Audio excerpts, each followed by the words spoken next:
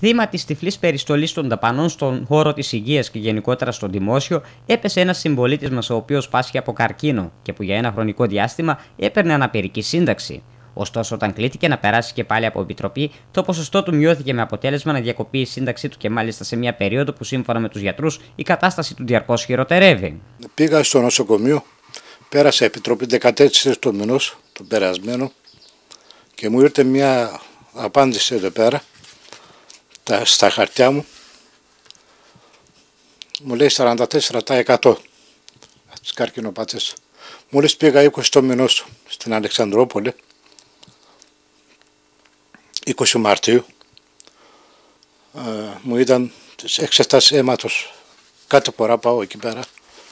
Κάτι Σάββατο έγινε τώρα πάλι ξανά. Και μου είπανε δεν πας καλά Κάτι Τετάρτη έγινε πάλι, δεν πας καλά. Σε κρατήσανε μέσα. Με κρατήσανε. Ε, μου λέει πήγαινε βγάλε ε, στο Ήκαλε ή στο νοσοκομείο ακτίνες για να μας φέρεις γιατί τα αποτελέσματα θα σου λέει δεν είναι καλά. Λέει πάλι την, ελάτε την άλλη Τετάρτη δηλαδή. Πήγαμε την άλλη Τετάρτη. Λέει, οπ, σε κρατάμε μέσα. Ποιο λόγο, λέω, δεν πας καλά πάλι μου λέει, απλώθηκε. Λέει να σου κρατήσουμε μέσα. Λέω μόνο σήμερα όχι, λέει να δούμε. Και πέντε ημέρες, δηλαδή 27 το πήγα πέντε, 12 το μηνός, τώρα δεν θυμάμαι, 12 το μηνός με γυρίσανε πίσω. Και μου λέει, πάλι ξανά συνεχίζεται η ταραπιά σου λέει, Κάθε εβδομάδα. Mm-hmm. Ποιος είναι ο λόγος, πάλι λέει δεν πας καλά. Απλώθηκε το αυτός ο η αρρώστια, ας πούμε, λέει. Δεν πας καλά.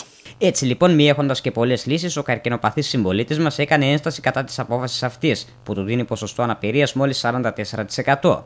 Ένα ποσοστό με το οποίο όχι μόνο σύνταξη δεν μπορεί να λάβει, αλλά ούτε τα βιβλιάρια του να θεωρήσει μπορεί. Ωστόσο και η ένσταση θα εξεταστεί μετά από 4 μήνες, κατά τους οποίους όμως θα πρέπει να συνεχίσει κανονικά τη θεραπεία του. 44%. Πόσο; 44% δεν βοηθάει τίποτα.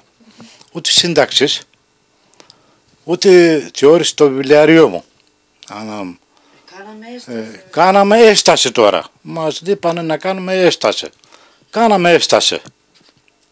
Πού κάνατε έσταση; Ε, στο ΙΚΑ μας κάλεσαν, κάναμε αυτό το χαρτί είτε, δεν ξέρω άμα να διαβάζετε κι εσείς, να διαβάζετε κι εσείς βέβαια.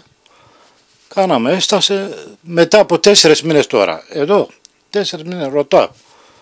Το, το κράτος ρώτησε. Περίμενα εγώ άλλος στα πράγματα.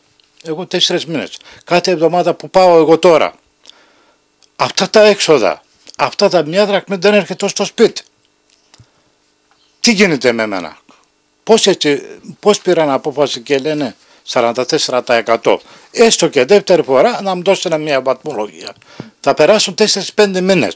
Εγώ τι να κάνω, 4, σας ρωτώ, 4-5 μήνες πώς να συνεχίσω τη θεραπεία μου κάθε εβδομάδα. Και ξέρεις τι μου είπανε; Λέει πρέπει να, να κόψεις το λαιμό σου να έρθεις κάθε εβδομάδα.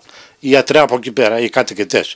Λέει άμα δεν θα έρθεις θα σου ρίξεις το κρεβάτι. Λέει. Θα είσαι πιο χειρότερος. Το ερώτημα μου αυτό είναι. Το Πόσο της εκατό είχατε...